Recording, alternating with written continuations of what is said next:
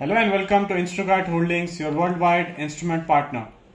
We have a temperature and humidity measuring device which is portable and this is offered from Rotronic.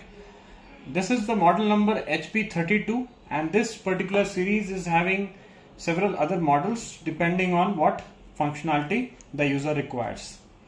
Uh, this is having a very high sensitivity probe which is also along with this HP32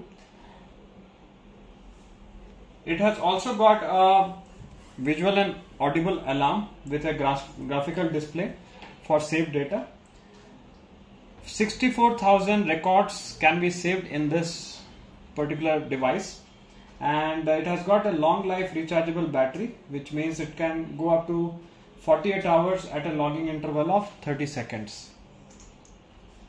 This can be majorly used for field inspection and spot checks in HVACs and areas where you are concerned about the temperature, humidity, dew point. The probe comes with high accuracy which is at plus or minus 0.1 Kelvin at 10 to 30 degrees Celsius and having a accuracy for humidity at plus or minus 0.8 percentage at 10 to 90 percent RH. It has got an application range of minus 50 to 100 degrees Celsius and 0 to 100 percent RH. There is a long-term stability less than 1 percent RH per year for the RS sensor. As you can see the probe, this is also called having a long probe which is useful and handy while you are in the field. As you can see in this big LCD screen, you have the date and time with the RH, temperature, dew point and wet bulb calculation. The calculation method is based on WMO standard and it has got a refresh rate of 1 second with an indicated integrated battery of uh, 1000 mAh 3.7 volts.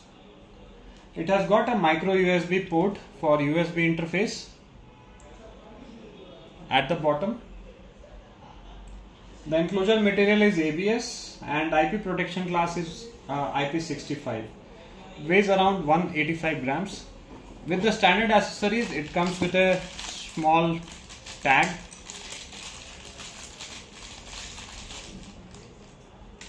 and a clamp for holding in the pocket or the belt. So also is coming in a hard case for field operation and maneuvering. For more information on this model or any other temperature or humidity measurement devices, you can always reach our expert at instrukart.com. Thanks for watching.